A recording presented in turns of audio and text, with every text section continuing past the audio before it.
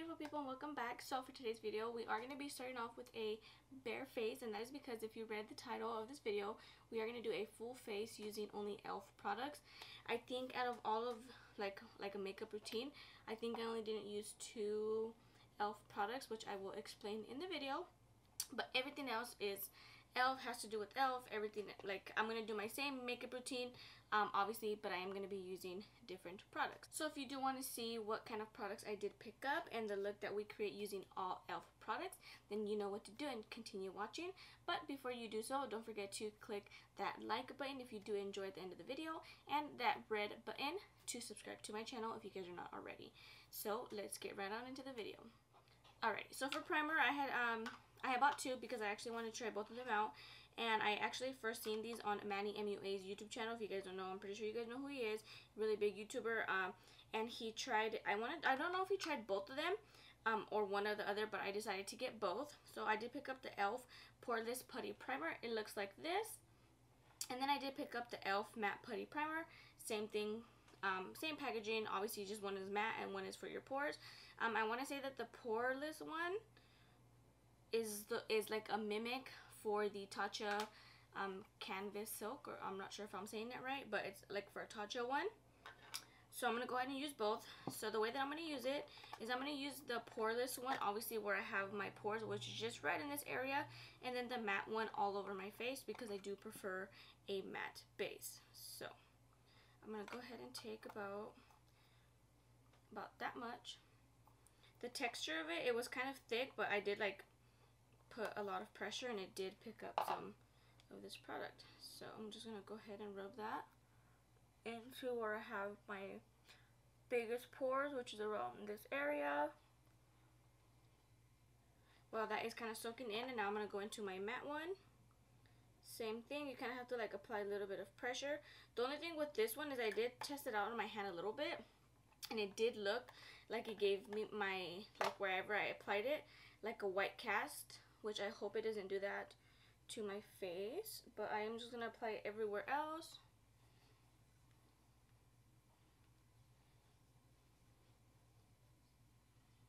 So I think when primers have a thicker consistency I feel like it is going to do a better job at having your foundation stick just because I can tell with this certain consistency that it's going to get like really really tacky since it is like a little bit on the thicker side. But now that I do have it on my face, I don't see a white cast, which is a good thing because I didn't want it to be too, too like white when I apply my foundation on. So the foundations that I did pick up are the e.l.f. Flawless Finish Foundation. So it claims that it is, where's the bag? Oil free set and finish. And that is all it says. So the two shades that I did get was Vanilla and Linen. Vanilla is light with golden undertones and Linen is medium with golden undertones. Um, so obviously they are two completely different shades as you guys can see. So obviously this one is Vanilla, this one is Linen. Um, I did put them on my hand and the funny thing is, is it says oil free but if I'm being completely honest, when I open the packaging, you can even still see, uh, the camera's probably not going to pick it up, but when I first applied, opened it, and even now, it has a lot of oil coming out of the foundation. I'm not sure if I got like um, two messed up ones or whatever the case is, but they do have a lot of oil. And even when I applied it to my hand, just to see how the colors were, like around where the foundation was, was oil, like a lot, a lot of oil. So obviously vanilla is too light and linen I want to say it's going to be too dark. I'm going to swatch linen again by itself because I am obviously a little bit darker because I've been, you know, by the pool. So, that's linen right there. I don't want to apply it all over my face and it be too dark. Actually, I think I can get away with using just linen just because I don't want it to be too, too light because we are going to obviously like highlight and contour. So I'm just going to go with linen. Actually, now that I'm looking at it with my color. I feel like I can even go a shade darker just again because I have been like tanning a little bit, like sun tan. So I'm going to go ahead and take one and a half pumps. I did shake it up a little bit so you can't see much of the oil anymore but like around where that foundation was when I had first applied it was a lot a lot of um, oil so because I did pick up a lot of products they did send me like um, a free item and that was their sponge which is a good thing because I did want to try it out. So they went ahead and I, they sent it to me and this one is a lot bigger um, than like the beauty blender when it is wet. I did dampen it just because I prefer it dampened. So I'm gonna go ahead and take that.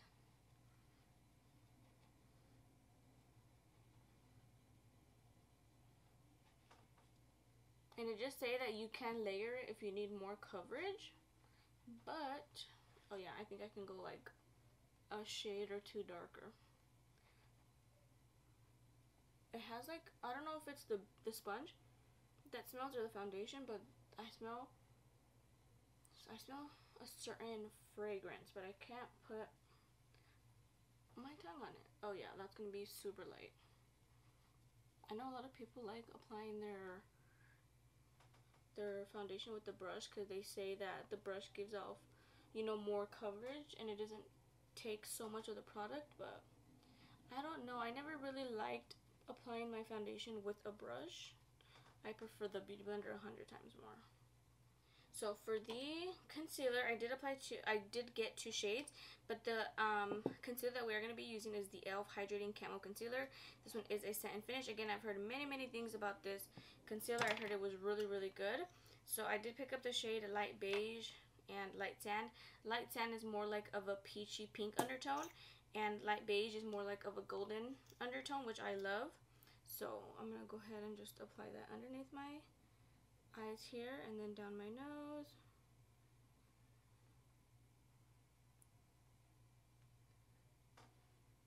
Okay. So just like that. And then taking again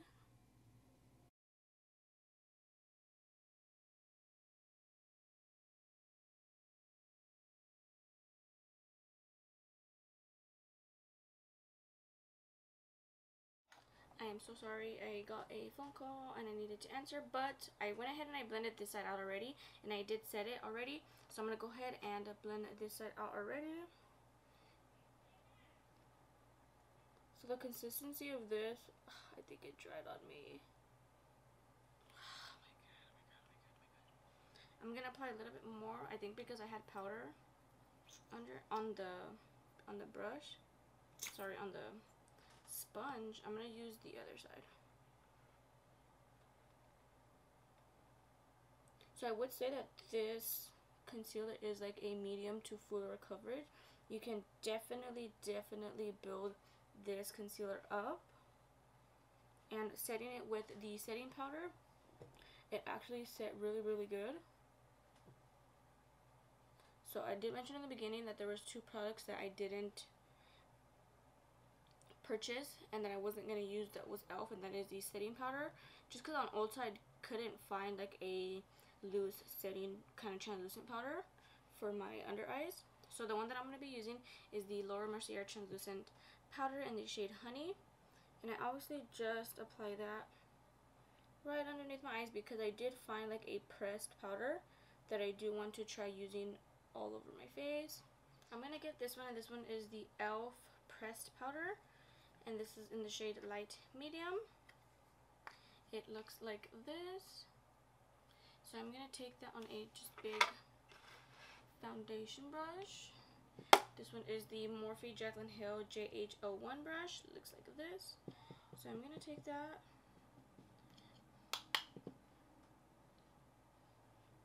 And then just start to so I haven't noticed in person honestly the foundation the color doesn't look too too bad but on camera it is picking it up like it's really really light. It could be because of my cat my my lights. I do have like the white lights so it could be because of that but in person it doesn't look too too bad but obviously it is a little bit lighter and I would have to go up a shade or even two. So now moving on to bronzer. I did pick up the e.l.f. I think it's the primer infused or infused primer sorry, the infused um, bronzers. I did get two shades. I did get Forever Sunkissed and Perpetually Tan. So Perpetually Tan is obviously more tan. I think I'm going to use probably both. Forever Sunkissed is honestly, like this is Forever Sunkissed and this is Perpetually Tan. So obviously you can see this one is much deeper. So I probably will bronze with this one and contour with this one. Again, just to give my skin a lot more color. So I think what I'm going to do is I'm going to bronze with this one. And this one is the Morphe Jaclyn Hill JH13. So I'm going to bronze with Forever Sun Kiss because it is a more fluffier brush. And I want to get like an overall kind of bronzer. And then when I go in and contour, then I'll go in with a more precise brush.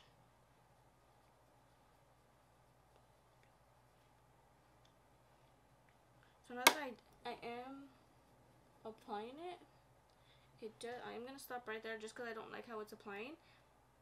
It looks really muddy. What's going on? What is going on? I'm going to try to go in with Perpetually Tan. I don't even know if I'm saying that right. But this one does look like it is going to give me a little bit more color. This one looked really, really like gray. I don't know why. Hopefully I can fix this. The next thing we're going to apply is a blush. And again, this one is the e.l.f. Infused Blush. And this one is in the shade Always Rosy. Looks like this. It's like a mauvey kind of pink. So I'm going to take that on this Morphe E3 brush.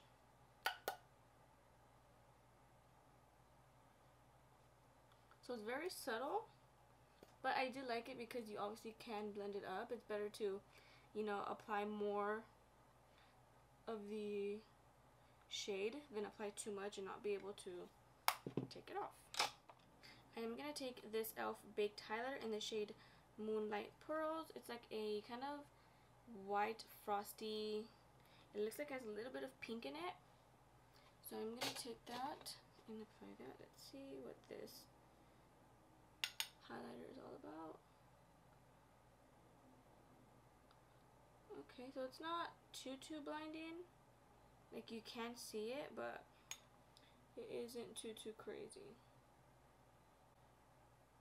Which could be a good thing if you want more like a just of a, you know, natural kind of highlight. Yes, that is pretty much it for the face. So, so far, um, getting up close, again, the foundation does look really good. Um, if I wouldn't have waited to like blend this side and set this side, um, I think it would have been pretty good. But it, you can't really tell the difference. The only thing that I haven't liked so far was that Forever Sunkissed bronzer. It is really light, so I think this is going to be better for more lighter skin tones just because it looks like it has like a gray ashy tone to it and I did not like that. But so far the skin is looking good. So now moving on to brows, I did pick up this e.l.f. Instant Lift Brow Pencil. So it does come with a spoolie on one side and then it does come with a little obviously color pencil on one side. So again, you guys know, I'm just going to go ahead and, I'm going to just do one brow on camera and then I'll go ahead and do the other one off of camera. So this one is in the shade, I think I've got medium brown. So I'm going to roll it out just a little bit. So that's how the pencil looks. I haven't used a pencil on my eyebrows in a really long time.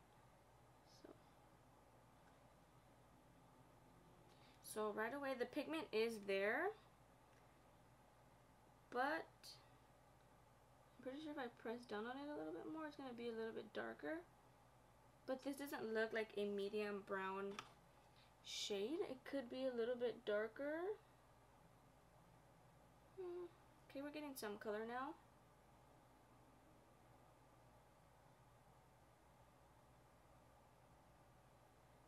It does feel like a little bit tacky, but it can be because I already have my base done. So now I'm just going to pretty much just fill in my brow. And then when I get to the front, I'm going to do little hair-like strokes. So I'm going to take a little bit of the light beige concealer. I'm just going to apply some to the back of my hand. And I'm going to use a flat synthetic brush just to clean up my brow.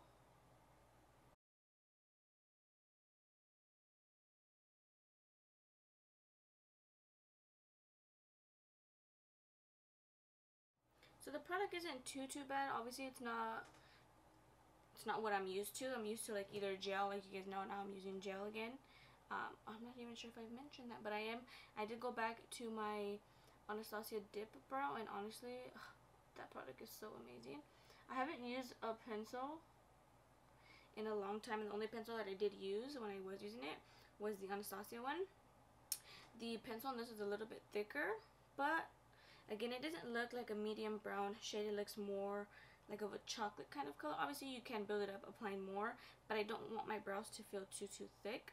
Um, but obviously, this is what the brows are coming out to look like. I'm going to do the other brow off of camera, and then I will be back, and then we will move on to the eyes, and then finish off with the lips. Okay, so I went ahead and I did the best I could with my eyebrows, and honestly, this product is enough for me.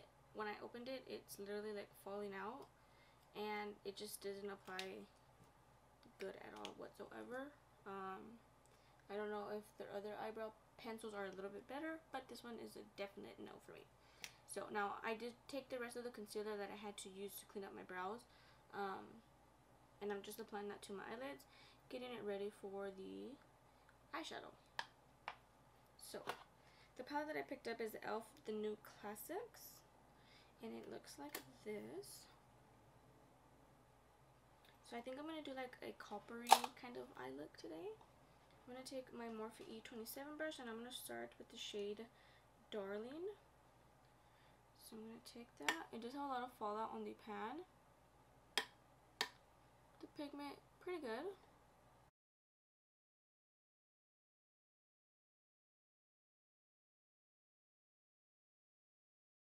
So I am just building it up as much as I can just to get it to like the desired intensity that I want. And then I'm going to go in with a fluffy brush, but just like a smaller pointed one. So I'm going to go in with this Morphe Jaclyn Hill JH31 brush. And then I'm going to go into the shade Earth, which is like a brown kind of color. So these shadows are pigmented. Not super, super pigmented as my other palettes that I do have. But they are working out for me.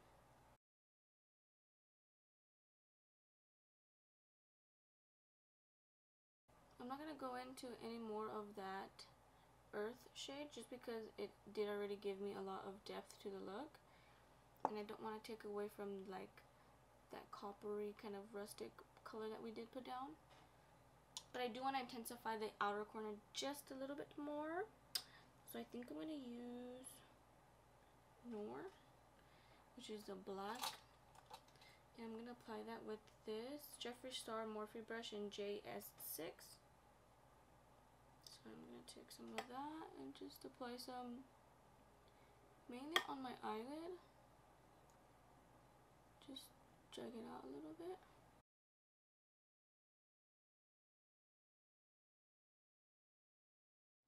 Just like that. I'm not going to do like a cut crease or anything, but I'm going to go in with a synthetic brush.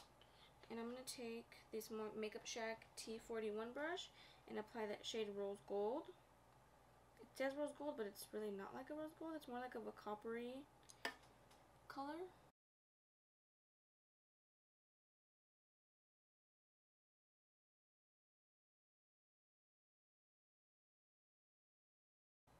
So with the brush, I actually did pick up a lot of product. I'm pretty sure if I were to pick it up with my finger or even wet the brush, it'd like pick up a lot more product. But I am satisfied with how it, you know, how it's blending out with just the brush. So just like that. Again, I'm going to do the other eye off of camera. And then the second product that I didn't have that was elf was lashes. So I'm just to go ahead and apply my lashes off of camera. And then I'll be back to finish off the look with okay, so I went ahead and I finished off the eyes off of camera. And I did say that I was going to apply my lashes off of camera. But I forgot that I did get a mascara. So I did get the e.l.f. Smudge Proof Mascara. So it does come um, like this. So this is for your upper lashes and your lower lashes. So I'm going to go ahead and apply that. I've actually been looking for a really good lower lash mascara. Just because my lashes are really, really small. I feel like they're a decent length, but I feel like they're small, so I need a really, really small brush to really get in there. Oh my god, this one is super tiny. Oh my goodness.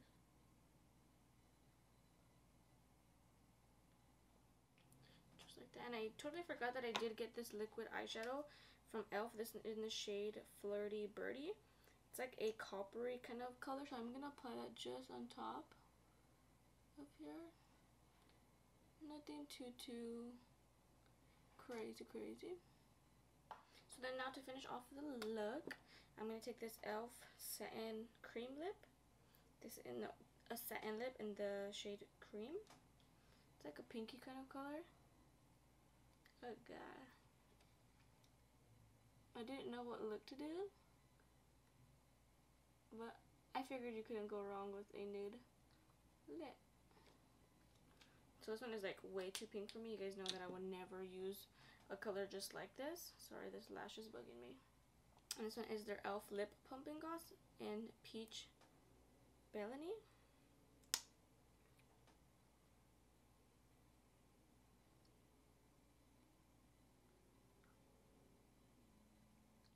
We are now completed with the entire look. So obviously this is what the look came out to look like. In camera and in person kind of far it doesn't look too bad if I'm being completely honest. However my final thoughts is when I do get up close I do see that the foundation is like breaking a little bit on my nose and my chin. And I do set my hand on my like on my face when I do my brows. So when I was doing this brow off of camera I did notice that my skin feels like really like tacky and sticky and for sure it will transfer. Even just doing this like it like gets stuck to my to my the palm of my hand and stuff. Um as far as the like the complexion it doesn't look too bad. I just don't like that feeling. Maybe if i were to go in and set my entire face with the laura mercier um, powder it wouldn't feel that way. Again i feel like the foundation did oxidize just a little bit. I can tell underneath my eyes it does look a little bit lighter still um, as far as the bronzer the the bronzer the Sun Sunkissed one was a was a no-go for me i would not ever buy that again and I would not ever try that again. Um, but the shade that I did use, um, I did like it, but I feel like it is a little bit too warm. Um, I feel like it is really, really warm on my cheek area. My forehead, you really can't tell, but I feel like on the cheek area, it does look really, really warm. The blush was a really good blush. I liked it. The highlighter, I don't think I would purchase it again or I would use it again just because I did have to go in several times to really get like that nice like wet looking kind of highlight and even then it's not super super blending like my other um, highlighters. As far as the brow pencil, it is a no for me. I would not ever use this again. I'll either give it to somebody or I'll just toss it to be quite honest because I did not like it whatsoever. The eyeshadow palette, it is really good. Um, I wouldn't really use these colors like for me. So I think I'm to actually give this one to my mom just because I know my mom does. This is like a really neutral, like kind of like starter kind of palette. So I think I will give this one to my mom. Um, the lipstick. I haven't tried any of the other lipsticks, but as far as the shade, I did not like it. Consistency, it was okay.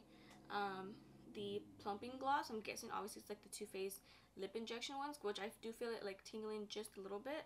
Um, but I have to give this one another try. I actually do like the color of it because it's nude and you guys know I like nude. Um, but that is pretty much it for this entire full face of e.l.f. products. If you guys did enjoy, again, don't forget to give me a thumbs up and subscribe to my channel if you guys are not already. And that is all I have to say, and I will see you guys on the next one.